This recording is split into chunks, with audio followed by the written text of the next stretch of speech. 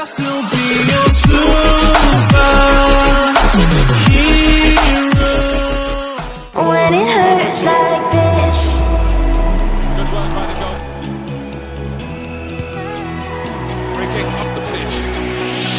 We climb the greatest.